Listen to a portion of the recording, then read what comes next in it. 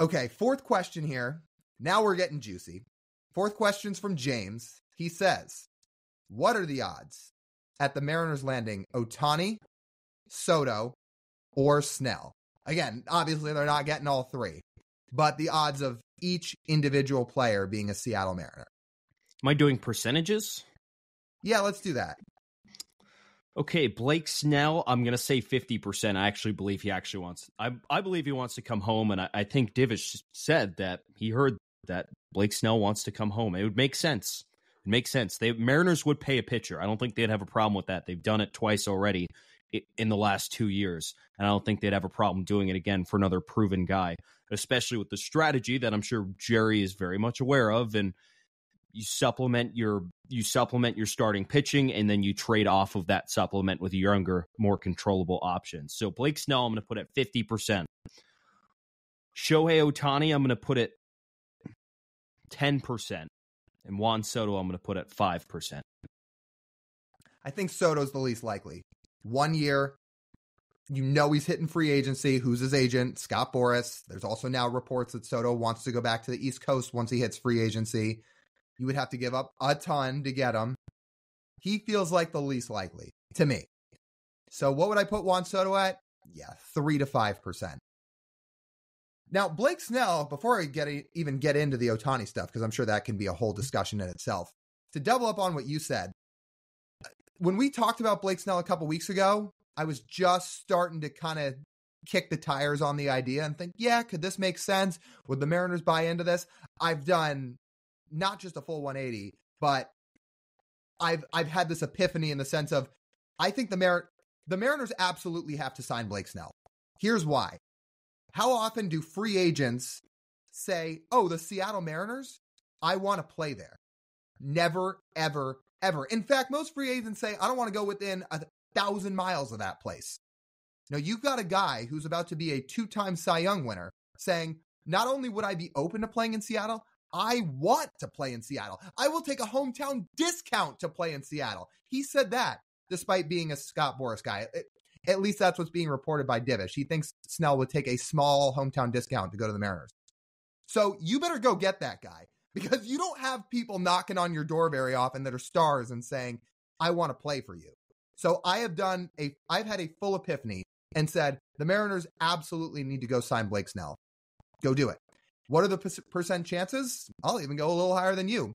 I'll say 55 because if the Mariners fork up the money, it's 100%. At least that's what it sounds like. If they give him what he's asking for, it's 100%.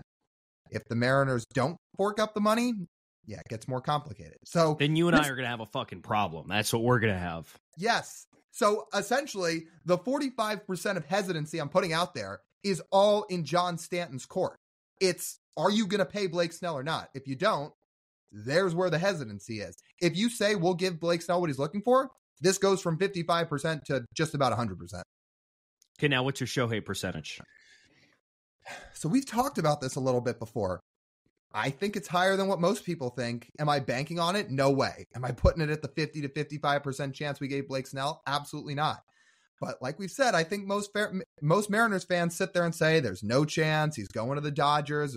They're not getting him. Don't waste your time. It's less than 5%. I don't think so. I really don't.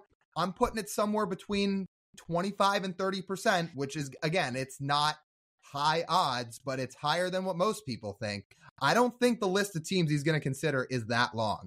I think the Dodgers and the Mariners are very high up on that list. I think the Dodgers are probably one, and the Mariners honestly might be two.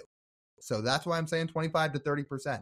I'm much more optimistic than most people are. I understand that, but I think Mariners fans like to be pessimistic a lot of the time.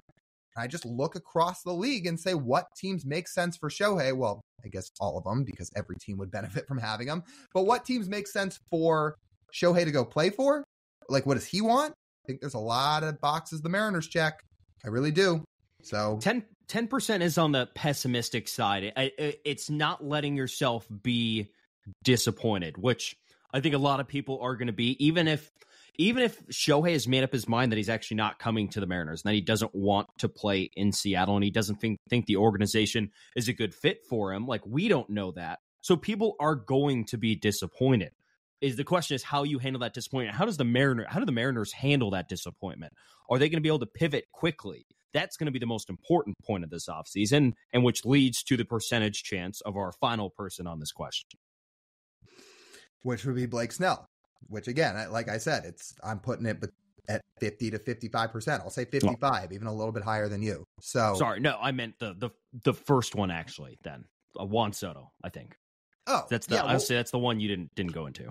Oh no, I said Soto's like 3 to 5%. I was Okay. sorry. This this has been a long question because obviously it's packed with three very very headline names. So again, I just don't think the Soto thing's going to happen. It would cost a ton. He's not re-signing. It just I, I don't think it makes a lot of sense. As good as he is, as as incredible as he is, I should say. I don't think for Seattle it would make a lot of sense. So I think more so they'll be invested in both Shohei and, and Blake Snell. And I'll say this, let's just get it out there with the offseason now officially starting. I really hope Shohei signs early. One, because I cannot take him dragging this out till January. I'm going to be stressed and refreshing Twitter every five seconds every day for weeks if he takes a long time. And because I think he's going to hold up the market if he doesn't sign quickly, because I think a lot of teams are going to be trying to sign him. And I think that may hold up a lot of the rest of the free agent market. So I hope Shohei makes his decision relatively quickly. I actually think he may. And then that can just say, that can let everybody be like, okay, let's move on. Let's pivot. What can we do next? Yeah, he can sign as early as next Tuesday. Yeah.